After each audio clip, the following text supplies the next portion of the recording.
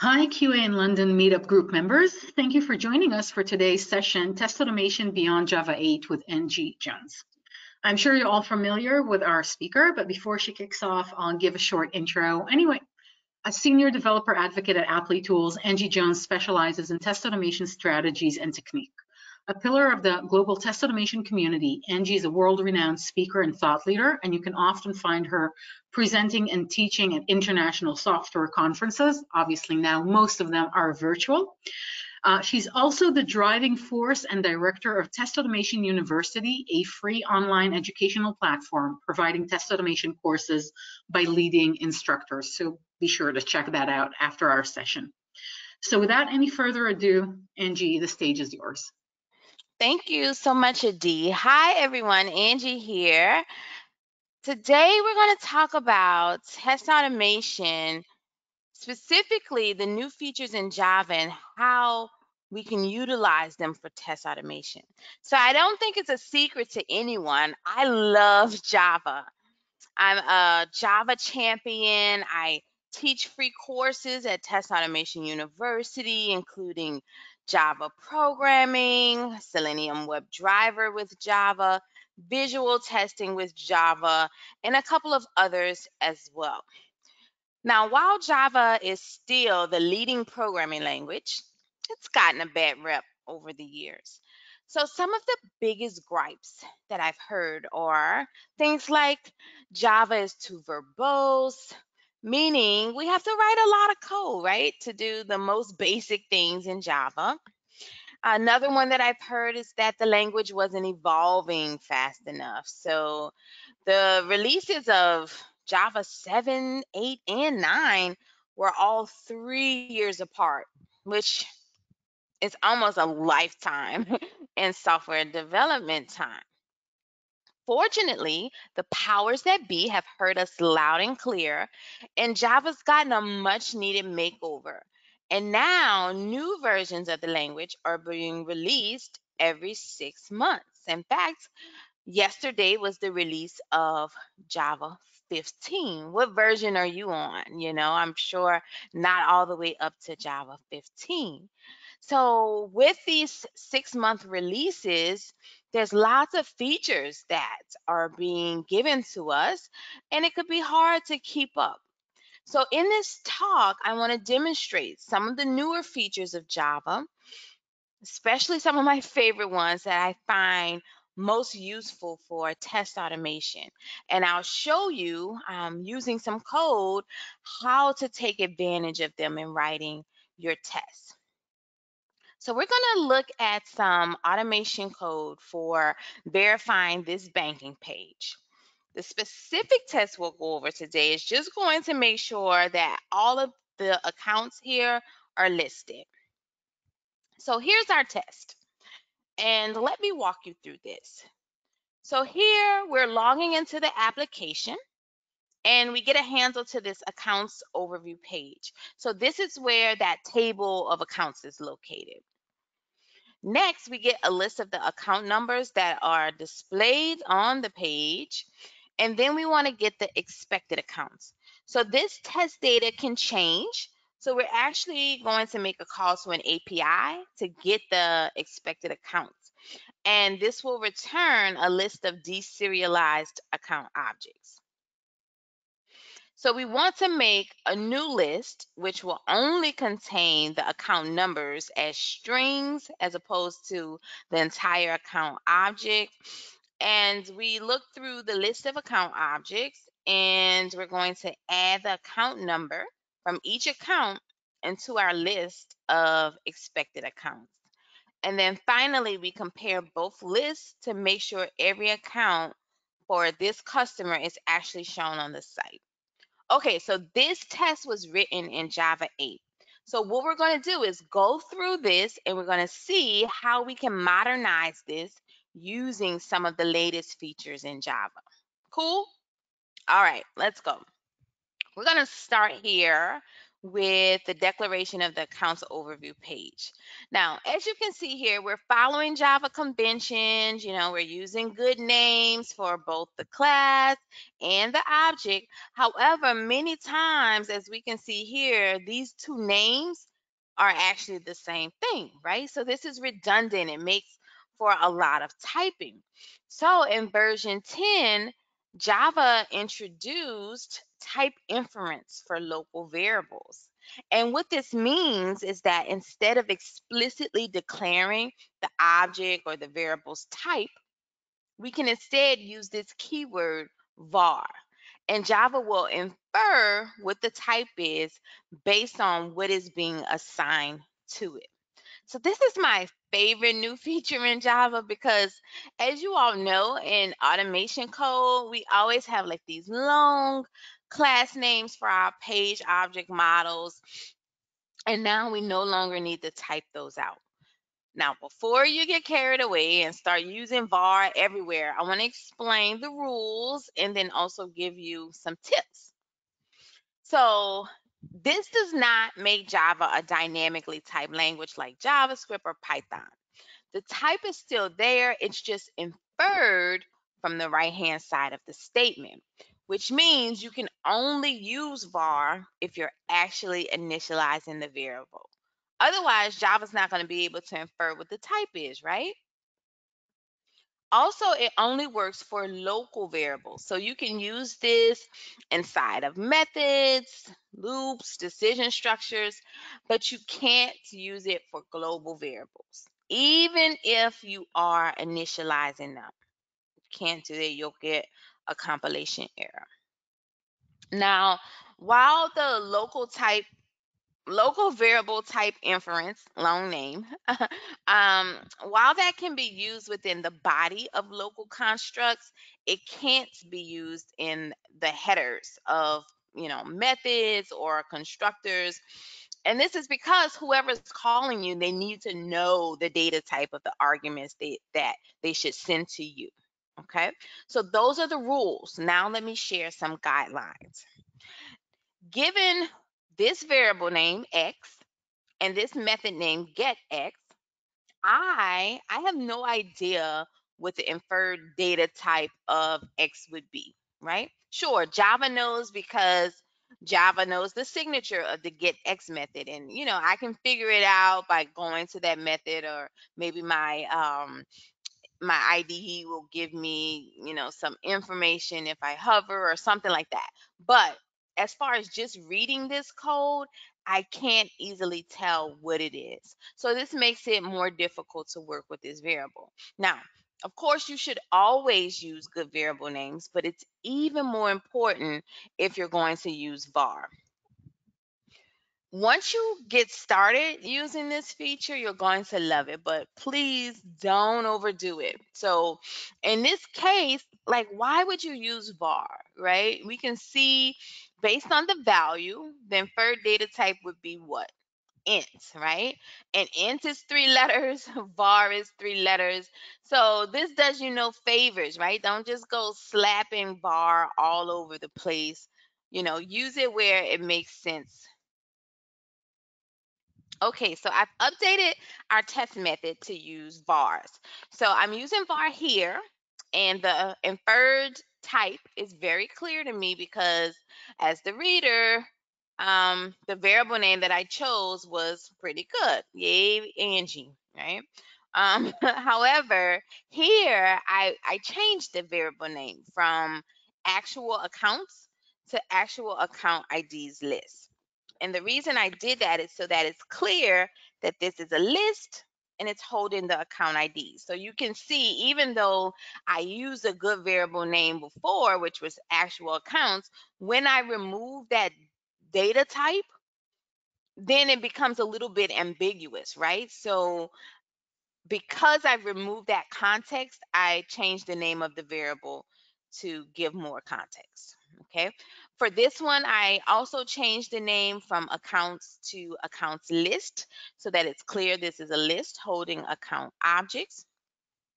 Here I changed the name to be more representative and I also explicitly defined the data type of array list, um, of the array list on the right hand side. So you see that string right there in the diamond operator.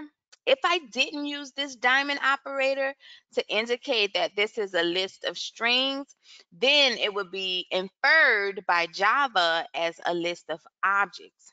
And that's okay in this particular case, but this could get you into trouble down the road. For example, if let's say I wanted to get one of the elements from this list and I wanted to use the dot operator and I'm expecting to be able to access the uh, string methods, right?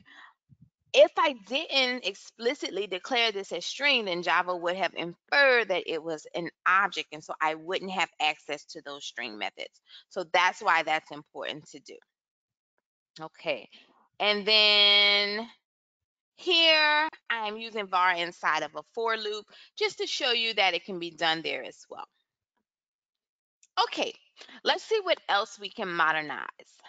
How about, let's look inside of this get accounts method. Now remember, this is the table and we're getting all of those values in the first column labeled account. And here's the code to do so. So we see here, it finds all of the account sales and these are web elements and then it creates a new list to hold just the text of the web elements. So this is a list of strings. And then to populate that list, we loop through each of the elements from line three, we get their text, and then we add them to our new list on line six. And notice this method needs two lists and a loop. Of course, there's a more modern approach to do this in Java using a functional programming style. So this approach was actually added in Java 8, but I don't see it used much in test code, so I want to highlight it. So this is much more streamlined, yes, than using the two um, lists in the loop. Let me walk you through what's going on here. We're still calling find elements to get the list of web elements, but we don't need to store them. Instead, we turn them into what's called a stream, right? And then from which we can do some cool functional programming. So in Java 8, these functional programming capabilities appeared in the language. And this was revolutionary for Java. Um, so we really should take advantage of these in our test code. Okay, so what this does is essentially um, gets, uh, I guess, like a collection so in this case it's a list but it could be like a map or something like that as well but it gets this collection and puts it in the state where you can do further processing on that collection.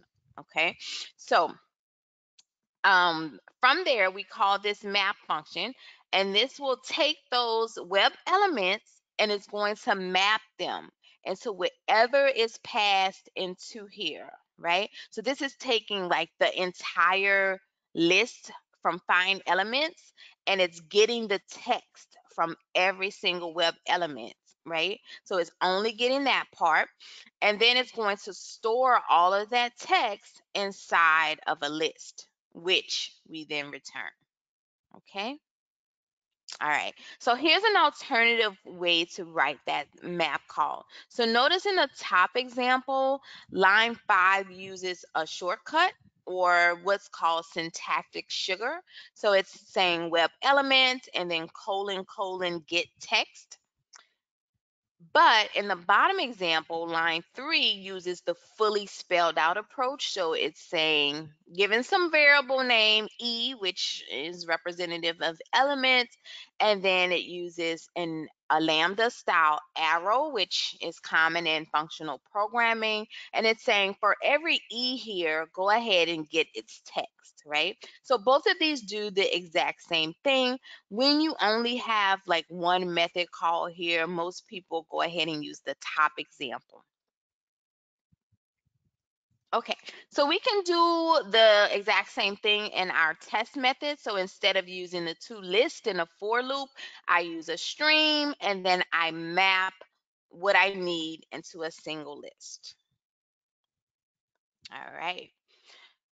So it's a good practice to break up these chains method calls where each method call is on a new line. Now, I know it's really tempting to do this big, powerful call all on one line because it's like, wow, look at this wicked one liner, right? but that makes it harder to read your code and process what it's actually doing.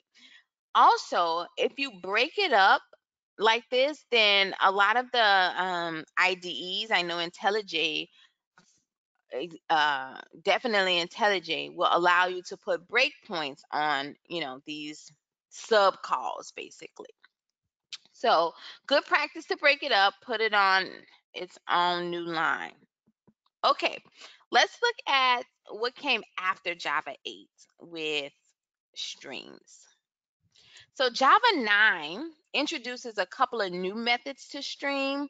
Um, there's several that you know I haven't covered because this talk is about beyond Java 8, but there's several in Java 8 like you know filter and all of this. So I encourage you to look into those if you haven't already. Um, but Java 9 adds some new methods, one being take while. And let's say I have this code which gets the list of accounts and then it uses the take while method on this stream of accounts. So within the take while method, you need to pass a condition. And this is also known as a predicate. And notice that lambda style arrow again. So this is saying to go through this list of accounts and accept all of the ones that have a type of checking until you get to one that does not have this type. So here are all of the accounts stored in accounts list. Notice there are 11 of them.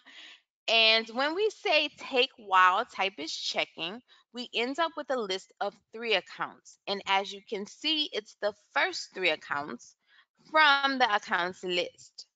But when we got to the fourth account, the type was savings. So the stream ended, even though there were more checking ones after that, the way that take while works is it's going to stop. It's going to halt once the condition is no longer true. Okay, so Java 9 also introduced drop while, and this does the opposite of take while. So for this one, we're saying drop the accounts of type checking until you get to one that is not. So with 11 accounts here, we see the first three are checking, the fourth is savings, the fifth through the ninth are checking, the 10th is savings, and the last one is checking. So how many accounts do you think are going to be collected here in the checking accounts list using the drop while um, type is checking? If you said eighth, you are correct. So this method dropped the first three accounts, right? Because they matched the predicate. And then it stopped the stream on the fourth one because it no longer matched the predicate. So all other accounts are then collected and stored into the list. Now, all of those accounts couldn't fit on the last slide. So here's the full list of drop while account type is checking. Okay, so you might be thinking, Angie, why on earth would I want to use take while and drop while? um, well, these examples I showed you were a bit of a brain tease because the lists weren't sorted. So the results were indeterministic. However, if you sort the collection first, as we're doing here on line five, it makes a lot more sense. And notice I'm using this comparator to specify which property of this object that I want this entire thing uh, sorted by, right? So it's going to sort, uh, it's going to sort by the type. Now, given the sorted list, we see it collects all of the checking accounts, and this actually makes more sense, right? Likewise for drop while. Okay, let's see what else we can modernize in our test. How about let's go inside of this get customer ID method. So this method is holding our test data and based on the name on the account, it's returning the account ID. And this is using switch statements. And notice we have to declare the variable and then we specify each case that we want to handle. And inside of the case, we assign the value to ID and then we must follow the assignment by a break statement to prevent fall through into the next case, which would override the variable. Now, not only is this a lot of boilerplate code, but it's also risky. If you forget one of those break statements, then it's going to fall through and the wrong ID is going to be returned. And actually, I made this mistake not too long ago. um, and was wondering like why I had this bug, and that's exactly why, right? And I'm sure this has happened to you as well. You forget a break in one of the cases. Fortunately, in Java 12, switch expressions were introduced. So now you can use switch to directly assign a value to a variable. So notice here we are using switch on the right side of a statement to initialize this variable. And the case statement doesn't need a colon in switch expressions, but instead it uses an arrow. And this is saying if the name is John, then assign 12212 to the variable ID. Notice, I don't need a break statement. So there is no fall through in switch expressions, right? I can even simplify this a bit more by removing the assignment here and then just returning the result of the switch expression. Now, using the lambda style arrows is one way to assign the value, but you can also use another approach. You can use the colon that we're used to, but if you do, you need to follow it with the word yield.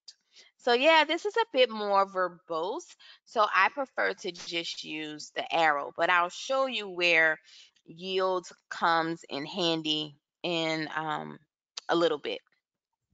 All right. Um, with switch expressions, you can also specify more than one case. So this kind of takes care of fall through because if um, you think about it, sometimes you do want to use fall through. Like there's sometimes where the code that you're going to write matches more than one case. So you can handle that here. Notice we're saying if the customer name is John or Demo, which is his last name, then the ID is 12212. So again, that makes up for the removal of the fall through from um, switch expressions because you can indicate all of the cases delimited by a comma. Now you can also do more than just assign values. So this is what I was telling you about where yield comes in handy. So for example, here we're using the lambda style arrow followed by a set of curly braces to indicate that we want to do more than just assign a value. So inside of the body of this case, we can add more statements like this one, but the last line of the case must yield a value to be returned, right? Because remember, switch expressions is all about assigning values to variables. So if you know you want to do a whole bunch of other statements, you can, but at the end of the day, you have to give some result back, okay? let's talk about the rules. So you'll need to use the arrows or the colon yield. You can't like mix and match this like this. So line three is going to give you a compilation error because it's a different kind of case.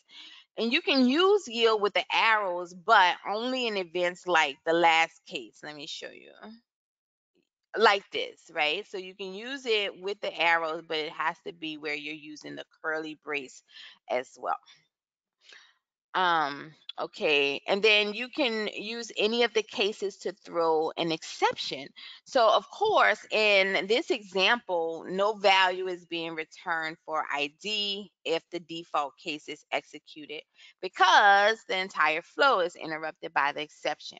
Now, I put this on the default case, but that's not the only case. You can put it on any of these cases. So if I wanted to throw an exception for case Mary, that's perfectly legal.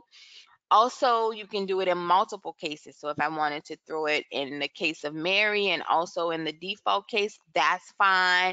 I could throw different exceptions, one uh, one type of exception for Mary, one type of exception for default. All of that is legal.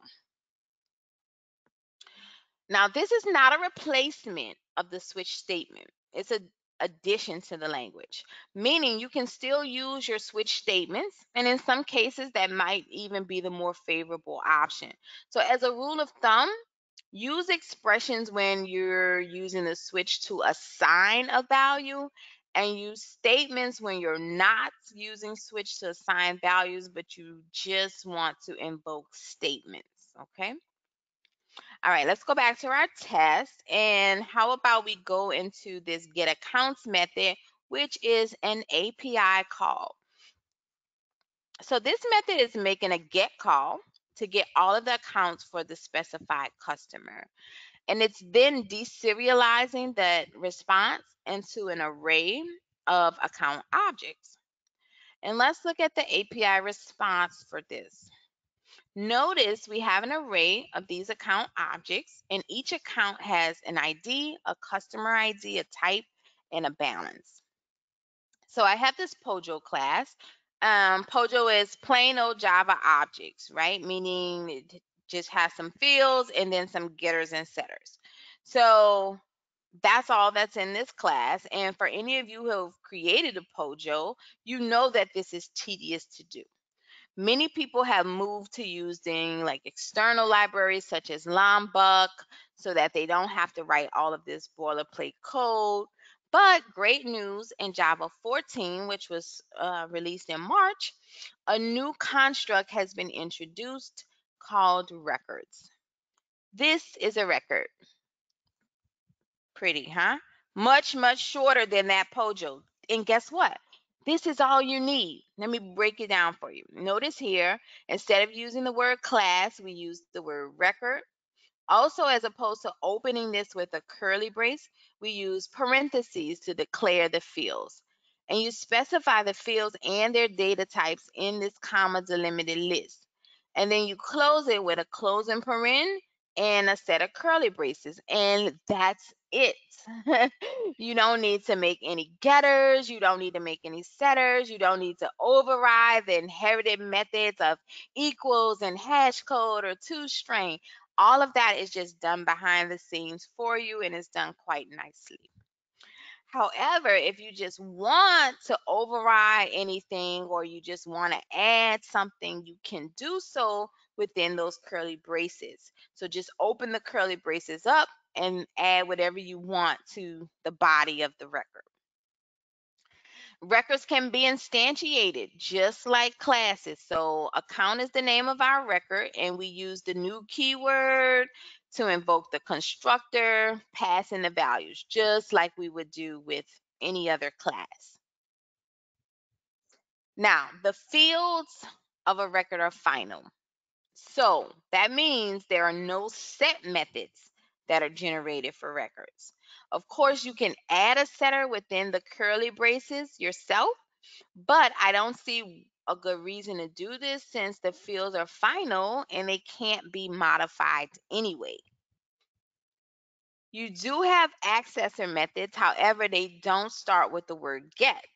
Instead, the accessor method name is the same as the field name. So notice here, we're making a call to account.balance as opposed to account.getBalance. Records were released as a preview feature in Java 14. So what this means is that it's not yet a permanent feature of the language. So that's the great thing about the new release cycle of Java. Um, most of the time they're releasing the features as previews like a couple of versions before it becomes final. And what this does is it gives us engineers uh, opportunity to play around with the features and offer feedback. And based on that feedback the implementation can change. So that's pretty cool.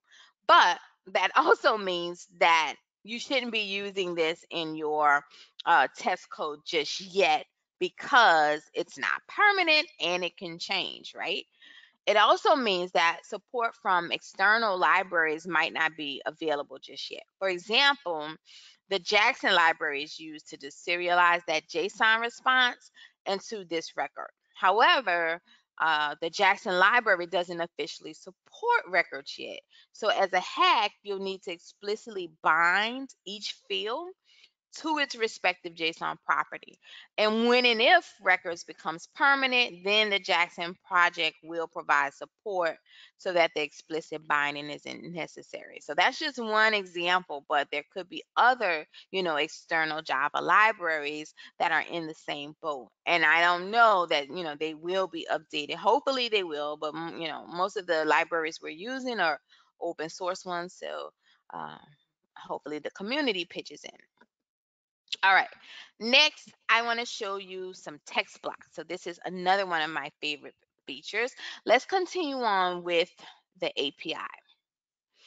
Now, what if instead of calling the API, we just wanted to mock the data right there in the API util class? To represent this whole thing as a string, would be very tedious. We need to escape all of the fields because they're already in quotation marks, right? We need to add new line characters for each of the line breaks. And we need to add these plus signs for each line. So this is ugly. It's ugly to read. It's ugly to write. No one likes to do this. Text blocks allow you to use three quotation marks to open and close a big block of text. Isn't that beautiful? You don't have to escape anything. The individual quotation marks are still there on the fields. The line breaks are respected. This is a work of art.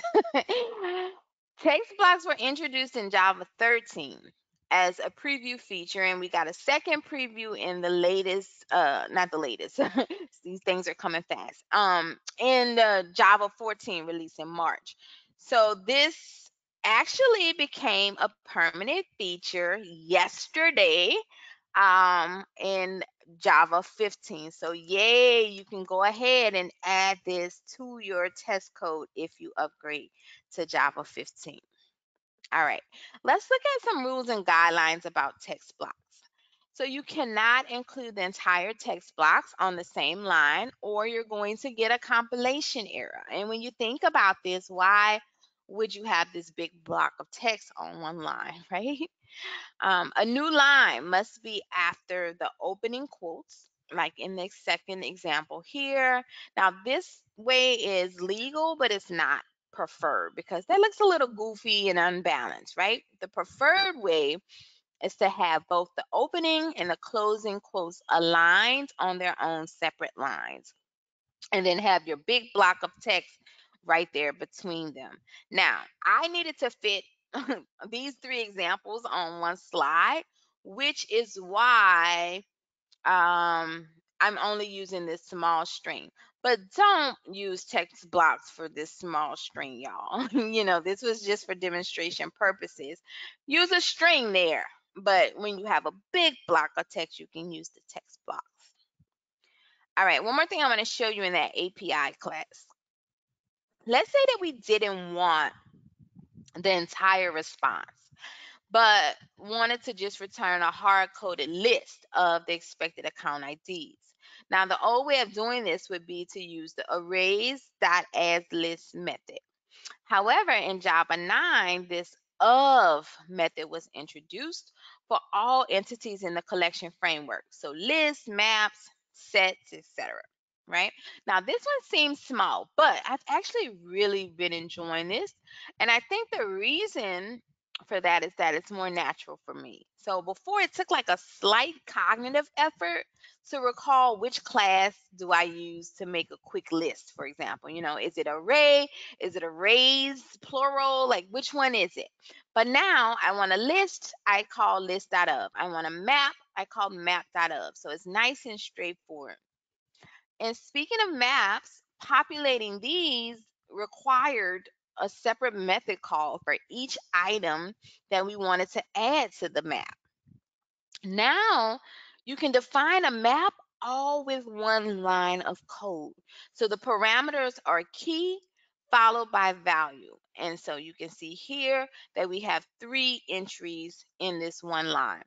Now, I'll put this all on one line because you know i'm a developer and we like to we like to have slick one liners but in reality i probably would break this up into um, three separate lines where each entry was on its own line just so that i don't get confused about which key goes with which value one um, thing to note about using the of method is that it creates collections which are immutable. And what this means is that the collection cannot be changed by adding, removing, or sorting it later. So only use this when your collection won't require any changes later on in the program. All right. So there you have it. These are a few of my favorite new features from recent versions of Java. I've been using them in different uh, test projects. I find them quite useful even for test code. What questions can I answer for you? Are there any? Yeah, of course. Uh, so first one, have you run into uh, breaking changes uh, when you migrate to newer versions? No, they've done a really good job with um, backwards compatibility. So when you upgrade, you should be fine only like new additions. Um, there may have been like some deprecations, but you know, that's normal. But yeah, I don't know of any breaking changes. But there is a guide written by a woman named Trisha Gee. G E E. If you look up Trisha Gee migrating Java, then you'll find um, some information. So she's done like blog posts, videos, the works on um, some kind of gotchas about upgrading and stuff like that. Um, can switch expression work with more than one assignment? Great question. So switch expressions, you can say, um, let's say you wanted to say int, um, I need a variable name. I hate to use like X or foo and bar and stuff. I can't think of anything on the spot. Um, int X comma Y equals and then do the switch expression, right? And then you would be assigning that value to both of those variables. Yes.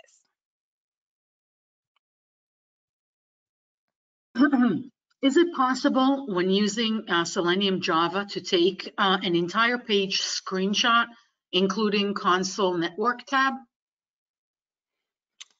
Um, that's outside of the scope of this talk, but um console network tab. I don't I don't no, I don't think you can get like the actual browser page as well as the dev tools in the screenshot. I've not seen the ability to do that. I'm not 100% sure because I haven't tried it, but um, my gut is telling me no. Okay. Um, so uh, to use setters, uh, will we still need to define them separately as records can replace the replace setters alone? So the records are final entities, right? So if you're looking for something like, oh, I'm trying to make like a builder class or something like that, then records are not your best option because you can't modify those fields after the initial initiation of those variables. So um, putting a setter there is actually going to give you a compilation error because those values cannot change. So I wouldn't use that if I'm doing something like um, a builder class or if I if I know that I need to modify the values after the fact. I would use it for things where I already know the values up front. They don't need to change. Like say for example, um, I wanted to verify like an API response. I already know what the API response is going to be. So I can use a record really quickly to basically um, serialize uh, an object that represents what that response is going to be. And then I can do a quick assertion um, based on the actual response and then that record that I created to see if it's equal. So that's a, a good use case for that if it's something that you're crafting, like you need to get the data and then you're going to update it later, records is not a good choice. Just use a regular Pojo class. So there is still, you know, people were asking if records is going to uh, replace Lombok or whatever. I see there's still a use case for Lombok because, you know, with the records, they're immutable. Some open source libraries don't seem to support Java 9 and onwards. Have you found this to be a limitation? Yeah, so most people are still on Java 8. Um, even though there's like a push to move folks further along in the language, it's so funny because in the beginning of the talk, I talked about some of the complaints, and everybody was like, oh, the language isn't evolving fast enough. Three years for a language, and they said, okay, we'll give you new features every six months. And now everyone is like, oh my God, it's going too fast. Slow down, we can't keep up. And nobody's moving off of Java 8.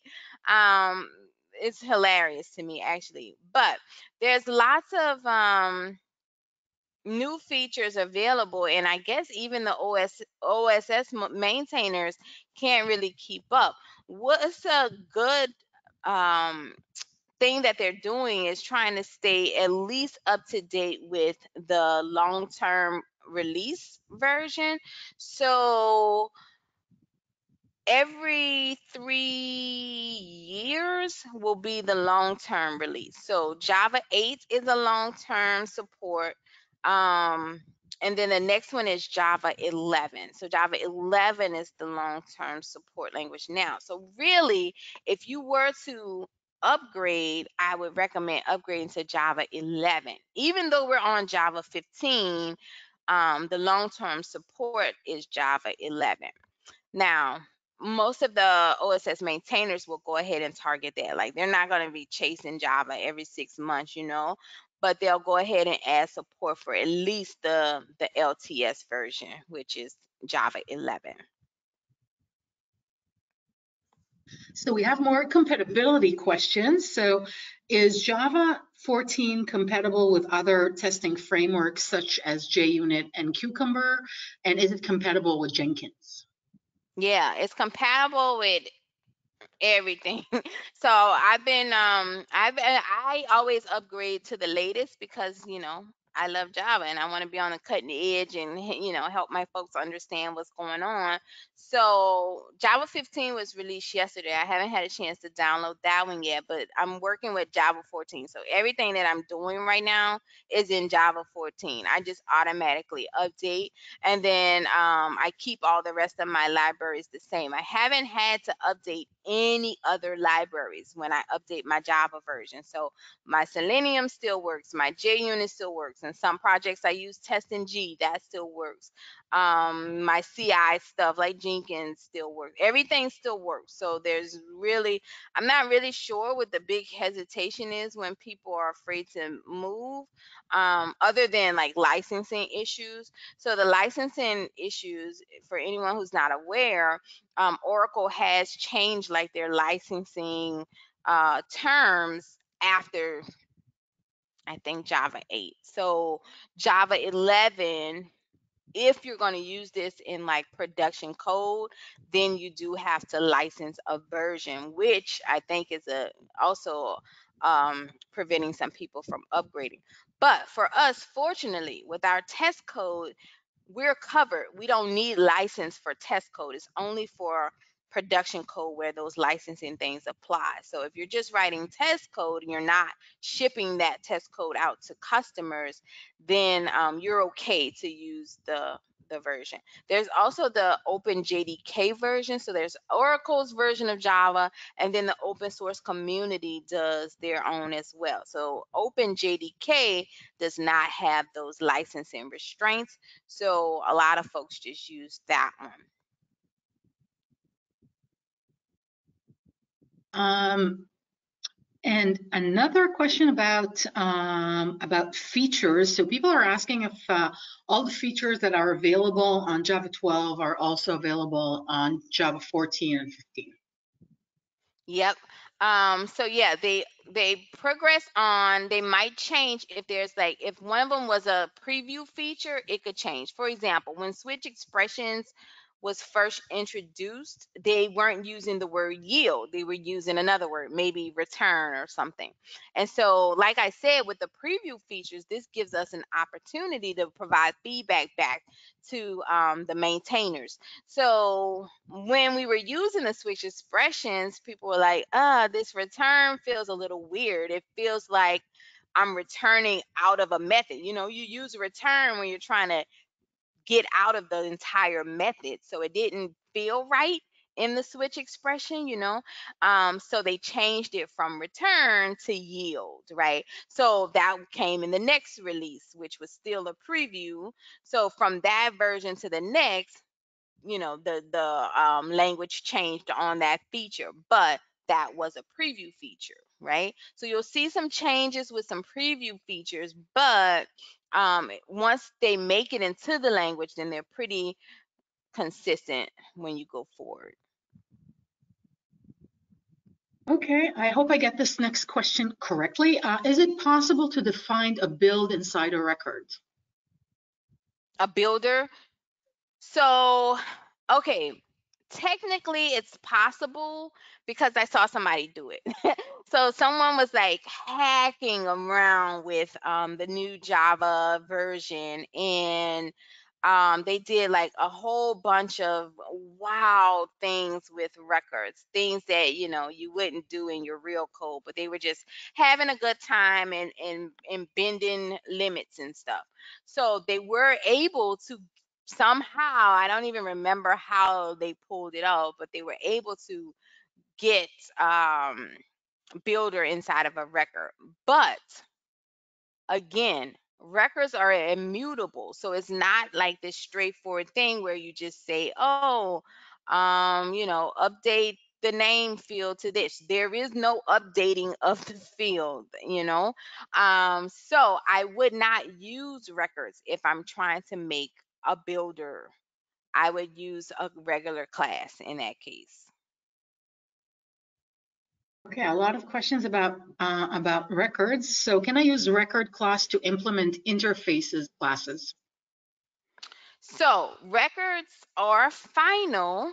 Um, there's a few things. So I explored this whole interface and inheritance thing with records. Let me find my notes on that. Um, do do do do do. Bear with me. We have some time, so uh, where did I put it? I think here we go. All right, so let's see. You all are asking amazing questions. Okay, so um, since records are final, you cannot inherit from other classes or other records, right? So if you try to inherit from, um, if you try to inherit from a class, you're going to get an ex, uh, a compilation error, right? It says no extends clause allow for records, so you can't extend. Um, if you try to extend from another record, then it's going to also give you a compilation error. It's going to say you cannot inherit from a final record. As far as implementing interfaces, that you can do, right? So you can use a record to implement an interface. Um, is typecasting uh, easier using the newer Java versions? Yeah, there's some um there's a new instance of pattern that um I haven't used this one in test code. I've used it to like play around just to see what it's about. But basically, like you know, when you um are using like polymorphism or whatever, and you want to check if it's an instance of something. So you would do in the old versions, you would say if um object A is an instance of object B, and then inside of that body, you would then do your casting. You would say, okay, so since it is an instance of, let me go ahead and cast to um, object B, right? Now they've kind of streamlined this a bit. So now you could do it in the condition itself. So you can say if object A is an instance of, and then you would put the actual object. So object B, and then you would give it a variable name. So it's a check and then also a cast all into one, right? So that came uh, in Java 14 in March. Uh, what version of Java would you recommend we use for production? Java, I would I would recommend you use the long um the LTS, which is long-term support, whichever version that is at the time. So right now, that's Java 11. That's what I would recommend you upgrade to. So I see we do have some more questions, uh, but I do want to turn it over to Ashley because we're five minutes to the top of the hour. I do want to let Ashley uh, a chance to uh, to say a few words. Uh, so obviously you can reach out to um, to Angie on social media on Twitter uh, if you have any additional questions. And um, just before Ashley will take over, uh, I just want to thank you all for joining us today, and of course, thank Angie, and remind you that whenever the um, the recording is available online, and Ashley will be Ashley will let you know about that. So, Ashley, over to you. Excellent. Thank you very much, Adi, and th thanks for um, obviously taking care of the organisation for this this evening as well. Um, Angie, thank you very much for taking your time to put this talk together and obviously give that to the group this evening. Um, yeah, very, very great, you know, very good presentation and, and, obviously good engagement at the end there. So thank you everybody for for joining us and for your questions as well. Um, like Adi said there, we'll get the recording out um, to you ASAP. Um, I know the guys at uh, are busy over the next couple of days with other events, but uh, as soon as the recording is available, we'll get that sent out. Um, any any questions from anyone else, feel free to uh, send them directly through to myself. I can pass them on to Angie and the team as well. But uh, no, thank you very much, everybody, and uh, I'll speak to you all soon.